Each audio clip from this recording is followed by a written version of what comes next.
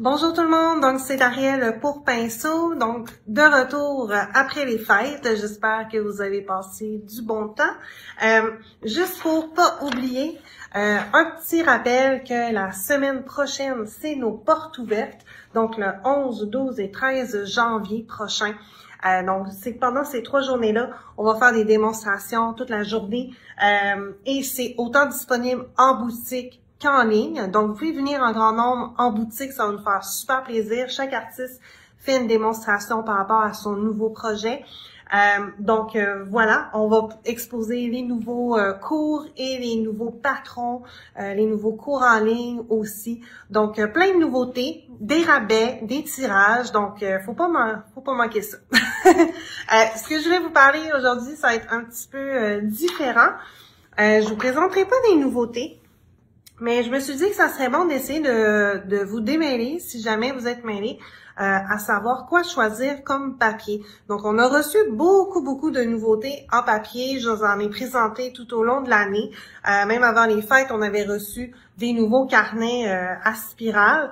mais quoi choisir, ça peut devenir mélangeant. Il y a tellement de sortes.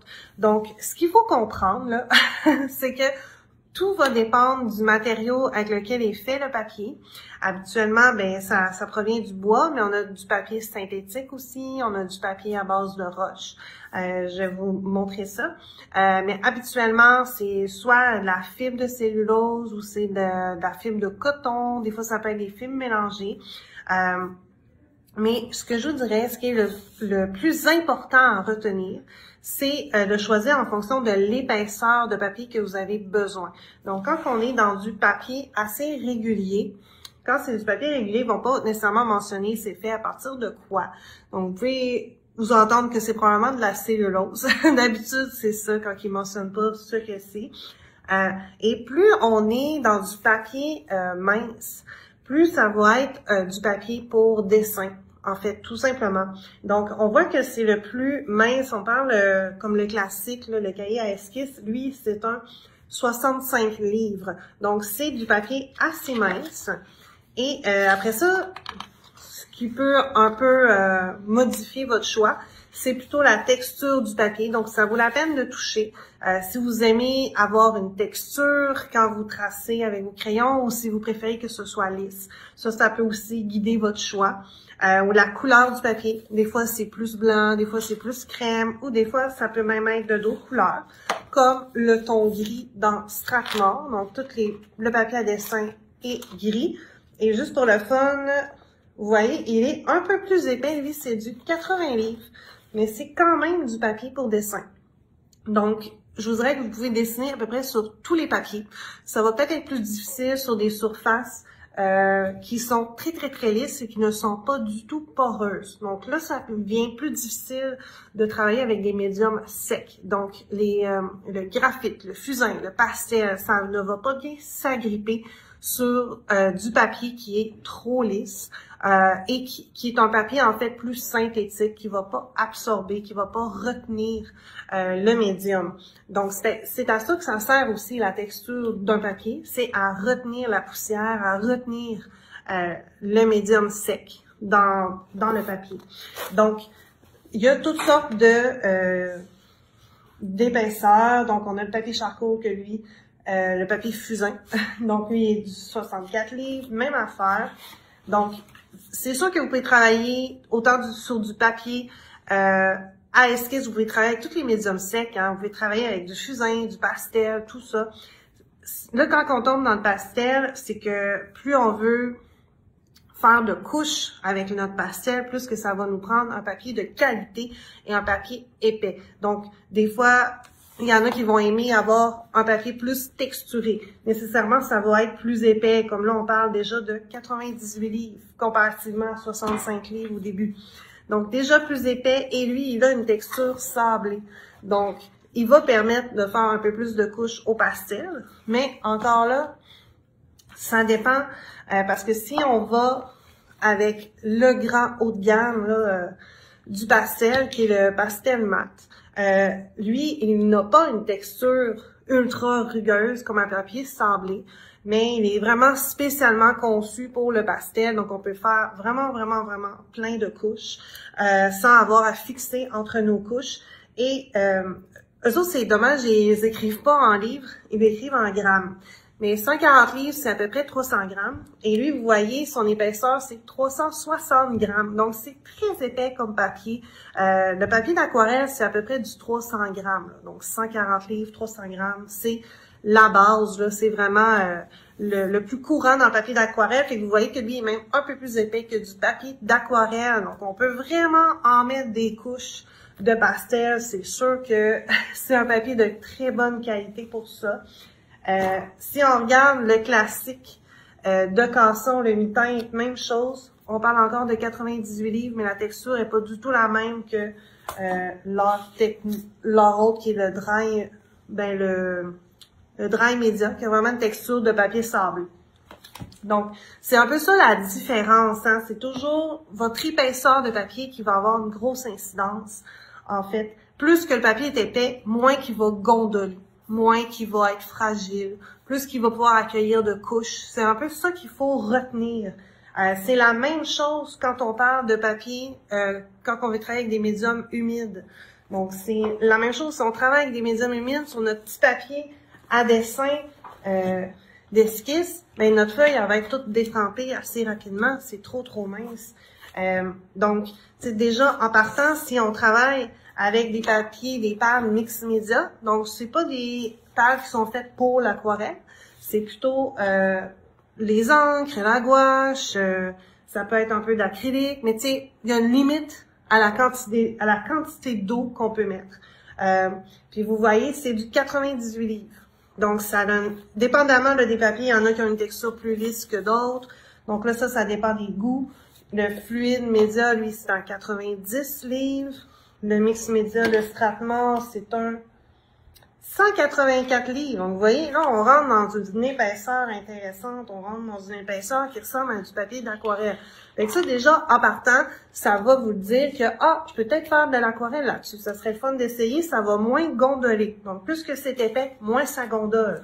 On a même le canson Excel. Donc, ça, c'est vraiment euh, qualité tout allé euh, étudiant euh, pour l'aquarelle, là, c'est la, la cellulose. Euh, et c'est du 140 livres. Donc ça, c'est vraiment le classique pour l'aquarelle. Euh, puis comme je vous parlais des fois euh, de, de la fibre avec laquelle le papier est fait. Donc quand on le mentionne pas, d'habitude, c'est la cellulose, mais euh, d'habitude, les gens qui font de l'aquarelle préfèrent travailler sur du 100% coton. Donc si c'est pas écrit sur votre pad, Cherchez-le pas, c'est parce que ça n'est pas du 100% coton. D'habitude, ils écrivent sur le pad ou sur leur feuille que c'est du 100% coton. Il faut qu'ils il faut qu'ils le disent. C'est un marqueur de grande qualité. C'est ce que les gens qui font de l'aquarelle courent. Ils courent toujours après les euh, papiers 100% coton. Donc, il faut que ce soit écrit pour vous en assurer que c'en est un. Il y en a de toutes sortes, euh, toutes sortes de marques. On en a plein de ça. Puis, vous voyez que c'est même lui aussi, c'est du 300 grammes, donc c'est un 140 euh, livres aussi. Donc, même épaisseur, mais là, c'est vraiment euh, avec le matériau qui est euh, avec le matériau du papier que ça va différer. Donc, les effets seront pas les mêmes, la qualité d'absorption de la couleur sera pas les mêmes. le 100% coton, et quand vous essayez de faire des relèves, il va vraiment moins policher qu'un qu'un papier à cellulose. Donc, les gens qui travaillent avec, en faisant beaucoup de relèves, d'habitude, ils cherchent du papier 100% coton. C'est sûr, ça va mieux. Euh, après ça, je pense que c'est assez clair pour le papier d'aquarelle. C'est vraiment votre épaisseur qui va jouer. Donc, plus que vous voulez mettre d'eau, plus que aller chercher un papier épais. Donc, minimum 140 livres pour l'aquarelle. Euh, ça existe même hein, du 300 livres. Euh, mais ça, c'est vraiment épais. on n'a pas de pâte de ça, mais on a quelques feuilles à l'unité. C'est assez rare qu'on le vend, mais si jamais vous cherchez un papier qui ne gondole pas du tout, euh, le 300 livres est probablement euh, un bon choix pour vous. vous pourriez l'essayer. ensuite, on rentre dans des papiers à surface peu poreuse. Donc, à quoi ça sert? À chaque fois que vous voulez travailler avec des marqueurs euh, marqueurs d'encre à alcool ou des feutres permanents.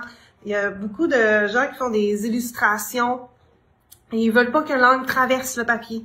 Donc, euh, ça, c'est ce genre de papier-là que ça peut ça peut être un bon bon choix pour eux. Donc, le, le pad marqueur de tension est fait pour ça, est fait pour ne pas traverser. Donc, les encres ne traversent pas le papier et ça reste quand même un papier mince. On parle de 18 livres. C'est quand même très, très mince. Mais c'est sûr que c'est extrêmement lisse comme papier, donc ça va pas bien retenir le euh, graphite, le fusain, le pastel, oubliez ça. Mais pour travailler avec des crayons à encre, à encre à l'alcool, ça va super bien. Sinon, vous pouvez vous tourner aussi vers les papiers Yupo. Donc ça, c'est du papier synthétique. Il n'y a pas du tout de bois, il n'y a pas de fil de coton, c'est complètement euh, synthétique. Et ça n'absorbe rien du tout. Donc, ça va vraiment flotter. Donc, c'est parfait pour toutes les encres à l'alcool. Euh, lui aussi, hein, le papier Yupo, il se fait en plus épais. Donc, euh, le classique, là, on parle de 74 livres, mais il existe aussi euh, en 144 livres. Donc, si jamais vous voudriez faire des cartes directement, le plier en deux, donc là, c'est plus formule carton, celui-là. Après ça, on a le papier minéral, qu'il y en a plusieurs qui connaissent peut-être. Donc, lui, c'est un autre papier qui n'est pas à base de bois. C'est fait à partir de, de roches, si je ne me trompe pas. Donc, c'est un peu pour ça que ça s'appelle le papier minéral. Et euh, c'est extrêmement lisse, ça l'absorbe pas beaucoup. Ça l'absorbe un petit peu comparativement au Yupo, mais quand même, ça l'absorbe pas tant que ça. Euh, un peu particulier, je le connais moins bien, mais vous voyez qu'il y a même des gens qui l'utilisent avec le pastel, avec euh, le graphite, mais c'est sûr que l'adhérence est pas la même que sur du papier standard, donc ça serait à essayer. Mais c'est un super de beau papier. Si vous voulez pas que ça passe au travers, vous voulez travailler avec des encres, vous voulez travailler avec l'encre à l'alcool, c'est un, vraiment un bon papier pour ça. Fait que voilà, j'espère que ça vous a éclairé un peu sur comment choisir votre papier. Donc, revenez toujours à la texture du papier, l'épaisseur du papier. Et là, dépendamment si vous faites de la si vous faites de l'aquarelle, mais la matière elle-même avec laquelle le papier est fabriqué là, devient important aussi. Euh, sinon, si vous voulez pas que ça passe au travers, ben il faut peut-être se tourner plus vers des papiers extrêmement lisses ou même synthétiques. Euh, donc voilà, ça fait pas mal le tour. N'hésitez pas si vous avez des questions, ça va me faire plaisir.